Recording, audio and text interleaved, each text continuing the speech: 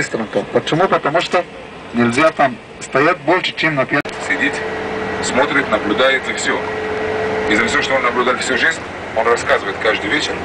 Люди, которые собираются перед ним, видят